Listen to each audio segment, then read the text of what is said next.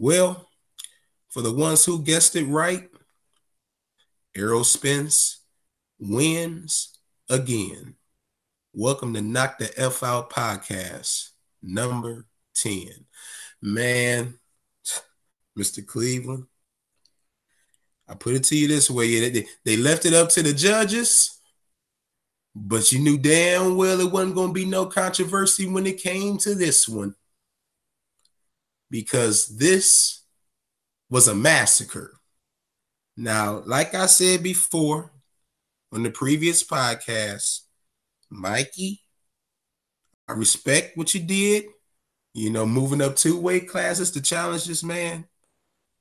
But like we said, clearly, clearly, you had bitten off a little more you could chew. Ladies and gentlemen, this wasn't even close. It wasn't even close. You know, I, I can remember texting, uh, I think it was like midway through the fight. I I texted Mr. Cleveland. I said, dude, this this this, this ain't even fair, man. It ain't even fair. Um, Mikey didn't win one round. okay, he didn't win one round. If you wanted to be generous, you could have gave him the second one. If you really, really, you know, felt sorry for him, you could have gave him the second one. But Jesus, I I didn't, you know, I didn't really see him winning one round. This was one, it, it was like a 10, it was like a 10-8 straight without a knockdown, man. That that's a beatdown. That's an embarrassment. It, it, it was it was shit. Mikey was scared to, to, to, fucking throw a punch. It looked like he was just scared to throw in there. He was just like he was a survival mode the moment that damn bell rung. You know, and, and just like I said in the previous one, you could go in there with a game plan until your ass get hit. He felt that heat coming from Errol Spence. He was like, oh shit. he finally knew Errol made him a believer last night and everybody else who said that Errol couldn't box, he wasn't technically sound, he couldn't, he, he wasn't intelligent enough to beat him. Dude, he outclassed Mikey Garcia in every way you can imagine. Mr. Cleveland, what you got to say about this massacre of a beating? That's exactly what it was, a massacre, man. I told you it was going to be a beatdown. Um, like you said, man, Earl just showed you it was levels to this. And for all those people who thought that Earl couldn't box, and like you said, his IQ was low, he, he shouldn't be in the same ring as Mikey. Be honest with you, if you know about Earl, you've heard about all the sparring stories. Him beating Mayweather up so bad for the Pacquiao fight that he kicked him out. Then the next day he lets him come back to the gym. Him beating Adrien Broner so bad that he starts crying and this is not like I, am making this stuff up. You'll hear boxers and other trainers come on a record and say, "Yeah, that happened." Especially the thing with Adrien Broner. Uh, Freddie Roach came out and said, "Yeah, I saw myself. He beat the kid so bad he was crying." Um, Earl is the truth, like his name implies. Man, this was a one-sided beatdown. Mikey did not do anything. I'll put it to you this way: Earl beat Mikey every type of way it is to beat you. He beat him outside boxing. He beat him on the inside. His defense was better. His reflex was better. His speed was better. There's nothing Mikey did last night that, that Earl has not seen or that Earl couldn't handle, man. And it looked like Mikey was looking for one shot. And I think what round was that? Round number 10, one of the one of Mikey's worst rounds. He landed a solid right hook on Earl. And, and Mikey thought he did something. Earl walked right through it and smiled. And I'm like, yeah, that, that, that killed a little bit of spirit that Mikey had left because uh he, he did his damnness to land that right hook, and it was a good solid right hook.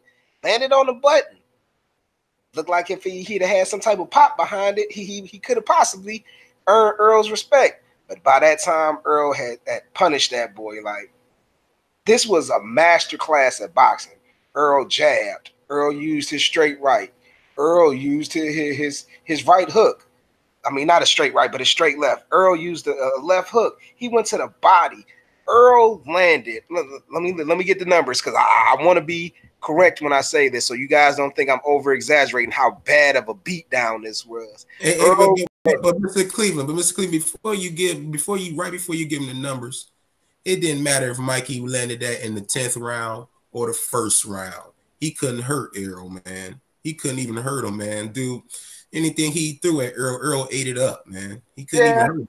The only thing I can say, if it was in the first round, it might have had a little more pop behind it, but by the by the time the 10th round came, it had no steam. Yeah. But Earl landed 345 punches in a 12 round bout.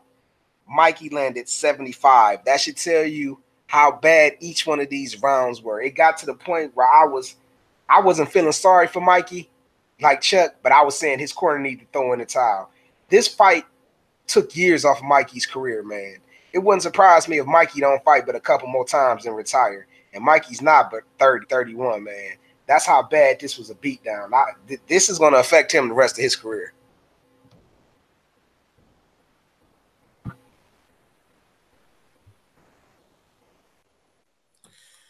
Well, you know something. I will say this. I will say this. The way that boy was in that ring taking that beating like that from Errol, I said, well, you probably, you probably can give some of them welterweights a little hell though, man. I do. I mean, look, yeah, like, I can see him versus Danny Garcia all day long, man. Hell yeah, man. Hell yeah, dude. Like if he wanted to, if you able to take 12 rounds of a punishment like that from Errol Spence, dude, I kind of like his chances against a guy like you said, like a Danny Garcia. See, you know, I, I mean, but but I think he said that he's gonna go down. I think he go, I think he said he's gonna go on back down to his class, but dude. Mikey, I gotta say, man, I gained a lot of respect for him, though, man. He is the toughest the toughest motherfucker I've seen in, in quite a while. You know, because that boy, he went the distance. He survived. You know, and I mean, Errol was landing some some bombs on that boy. Bombs. yeah, I, I, I was. I said, I said, Mikey, hang in there, Mikey, hang in there. I mean, shit, your last name ain't Myers. If he hit you with one right one, you damn sure ain't coming back. I swear, I said, look, man, I don't know, Robert. You might want to throw out that goddamn towel because Mikey is getting the beat down in this motherfucker. You know, but so it was it was just that kind of night for Mike, unfortunately. Um, but come on, man. we uh we we all saw this coming. I I I thought you know, it didn't live up to the name, though. You know, this is not the F5 podcast. I did have Errol Spence knocking this boy out because I, I did not see this. I didn't see Mikey Garcia being able to um, endure that kind of punishment. you know, I, I, I didn't see that either. You know, so I gained a lot of respect for Mikey, but uh, it just wasn't Mike's night. Um, anything you want to add on to that, Mr. Cleveland? Yeah, I told you guys Mikey needed to walk to the ring with with a, a diaper on because Earl was gonna beat the brakes off that boy. A couple rounds I did see doo doo sort out and, and, land on the canvas. Earl, that's how bad it was. Earl was mixing it up, body, head, head, body. He had Mikey off rhythm. He, you could tell Mikey was unsure of himself. And this is the thing that I liked about Earl. Earl, he basically he outboxed Mikey. Earl usually comes, he's a, a, a seek and destroy type of fighter. But man, he kept it in the center of the ring and he really punished Mikey. He got to a point where but he was basically toying with Mikey because he could land any punch at any time. All he had to do was come behind that jab, and that's what he was doing. That's what he was doing. So, man, uh, to me, this shows everybody else because I already knew how technically sound he was. That Earl can box. He's just not no some come forward swinging wild punches. He's tactical. My man knows what he's doing. He's the truth for a reason, man. Now that we got this out the way, Oh, something else I want to mention for a second, man. After the fight, Manny Pacquiao got in the ring. You know, damn well Manny Pacquiao don't want no smoke with Earl Spence Jr., man. So can we can we please stop that? It, it would be nice. But Manny seen what happened. Manny like, oh no.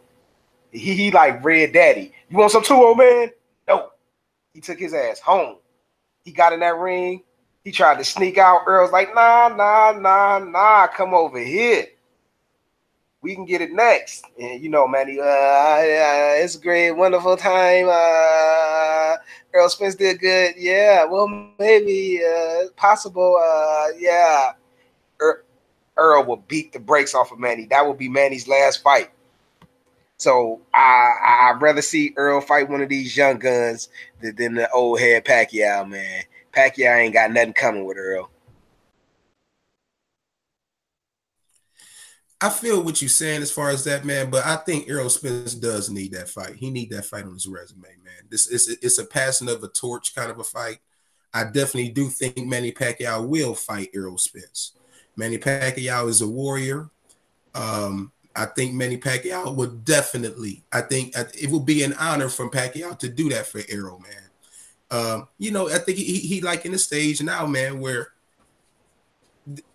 come on, man, Pacquiao no he he he no he's he was sitting down in that crowd and I was and I was talking I was telling somebody I said because it was funny it was like Pacquiao out there he gonna call him out man I said well I'm thinking Pacquiao heard rumblings about an Errol Spence and he's out there checking them out and I think he's going to be one of the first ones to find the exit once the fight's over you know but uh he he he got in that ring he he got in that ring and uh, you know, the, the challenge was made, and Pacquiao has said, "Hey, you know, I, I would love to come here and, and fight. Let's let's do it." And and, and, and Pacquiao's not a Keith Thurman. Uh, Pacquiao ain't no Shawn Porter. Pacquiao's a warrior, man. And I think that this would be good for Errol Spence. He had because even this Mikey shit, you know, I mean, we all knew what it was, but the Mikey shit looks good on his resume.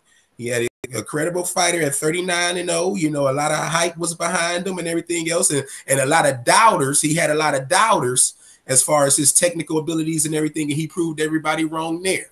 Okay, that that's good for Errol. This Manny Pacquiao fight, it, it, it's dude, it's gonna it's gonna it's gonna look good on Errol's resume, man. All this shit that's happening for Errol, man, I'm happy for him, man, because he deserves it. You know, uh, he he deserves this. You know, Broner, he if you ask me, Broner didn't even deserve to be in the ring with a Pacquiao.